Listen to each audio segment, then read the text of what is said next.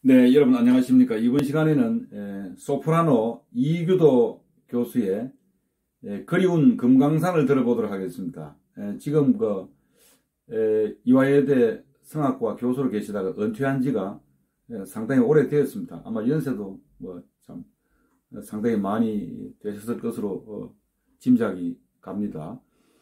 네, 젊은 시절 참 그 이규도 교수는 미모와 더불어서 목소리가 정말 그 미성입니다. 그래서 당시에 이제 음악회를 하면 참 인기가 좋았습니다. 예, 그래서 참 그 음색이 좋고 아름다워서 어, 가곡을 부르면은 참 그 아주 참 듣기가 참 좋았습니다. 예, 그런데 이제 낭만 농객이라고 하는 이 TV 프로그램이 있었습니다. 예, 김동길 박사가 출연하고 김동건 아나운서가 사회를 보고 이랬는데 2014년도 6월 5일 그러니까 지금부터 약 한 6년 전에 방송했던 이 프로그램이 되겠습니다.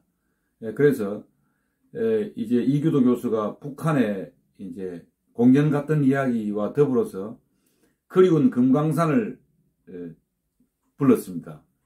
예, 지금 들어보니까 그 벌써 뭐 6년 전인데도 젊은 시절에 그, 그 목소리, 아름다운 미성의 목소리, 연세가 많아도 느낄 수가 있을 것 같습니다. 그래서 방송에 나와서 그리운 금강산을 부른 프로그램을 지금 한번 다시 한번 들어보시기 바랍니다. 재미있습니다. 네, 그러면은 한번 들어보시기 바랍니다. 그 1985년에 저희들이 이산 가족 고향 방문단 그래서 분단 40년 만에 처음으로 북한에 갔습니다. 그래가지고 3박 4일을 있다 왔거든요. 어. 그때 그 에, 이규도 씨, 음. 소프라노 음. 이규도 선생이 에, 노래를 하러 갔어요. 음, 예, 전설의 전설의 소프라노예요. 예, 이분이 예, 예. 이분이 그 동안에 방송에 한 번도 나오지 않고 예. 후배들만 지도하고 있었는데 예. 오늘 나오시게 됐어요. 네. 여러분 좀 박수로 맞이해 주시면 예. 어서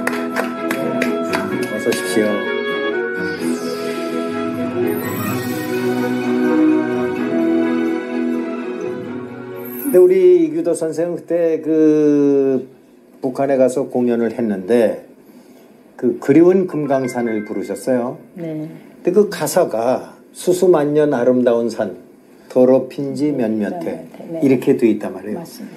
근데 그 북한 사람들 앞에 가서 더럽힌 지 몇몇해 짓밟힌 지 몇몇해 이렇게 음. 노래할 수가 없지 않습니까? 그래서 그때 당시 그 안기부에서 그 가사를 바꿨으면 좋겠다 그래가지고 음. 그를 못 가본 지 몇몇 해 이렇게 바꿨습니다. 굉장히 고생 많이 하시지 않았습니까? 긴장도 네. 많이 하고. 네, 그 당시 네. 때 조금 떠나기 전에 네. 한달 동안 저희들이 합수가 아닌 합숙처럼 네. 했었어요. 그때요. 음. 그러니까 이북 가서 우리들이 이제 행동해야 되는 거, 언어해야 되는 네. 거, 또 한국을 또 소개해야 되는 거, 뭐 많이 고생했지만 또 네. 가는 것이 굉장히 복잡했잖아요. 그럼요. 그때요. 네. 그렇지만 평양에 가니까 정말 드디어 왔구나 하고 저희들이 그냥 최선을 다해서 이 음. 사람들한테 감동을 시켜야 되겠는데 네. 하고 다들 노력하고 많이 했죠. 음, 네. 그래서 네, 아주 반응도 좋았고요. 그 저희들이 28 문화 공전이라는 데 초대받아서 네. 갔을 때 6천 명이 들어가는데요. 근데 그 북한 사람들 6천 명이 앉아 있다가 우리 일행이 들어가니까 전부가 일어나서 소리를 지르면서 박수를 치는데 그야말로 그거는 뭐 천지가 떠나가게 그렇게 오. 소리 지르는 거예요.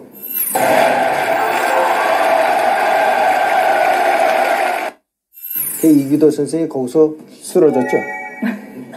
응? 무슨 네. 얘기예요? 아, 그 기절하셨어요. 음. 감격해가지고요? 아, 아니죠. 많이 긴장도 했고요. 네. 또 떠나기 전에 저희들이 좀 굉장히 지금 많이 피곤했었고 음. 어. 거기 가 긴장의 연속이니까. 예, 그렇지. 그래서 쓰, 쓰러졌는데 그다음에 기억이 안 나는데 깨고 보니까 제가 병원에 있었죠 그때. 그때 그 저 우리 의료진이 가 의료네. 있는. 네. 근데 그, 우리 김동건 아나운서가 옆에 계셨어요 마치며. 그 저를 그 부, 들었는데 아직까지도 왜 그렇게 무고하는지 모른다고. 그 나보고 어부라는 거예요. 그래가지고 이후로는 내가 업었어요. 그런데 굉장히 무겁더라고요. 아, 나도 힘께나 쓴다고 생각했는데, 아. 아 그걸 이렇게 무거운 걸 여기서 이렇게 강조했어요. 아니요.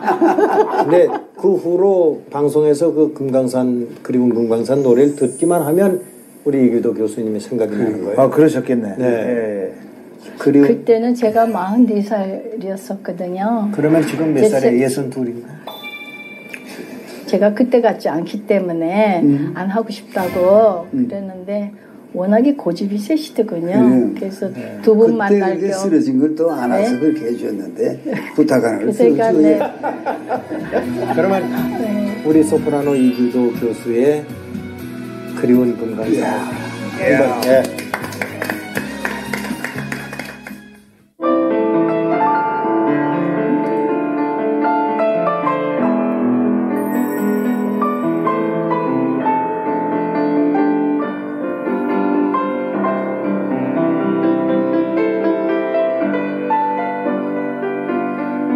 한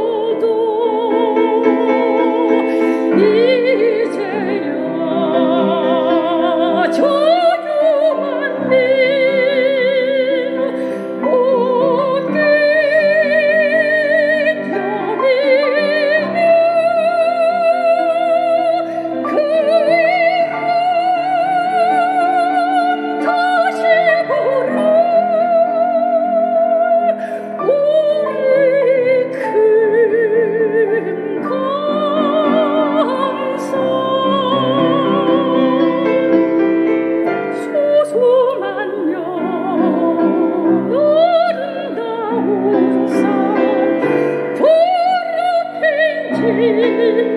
Dio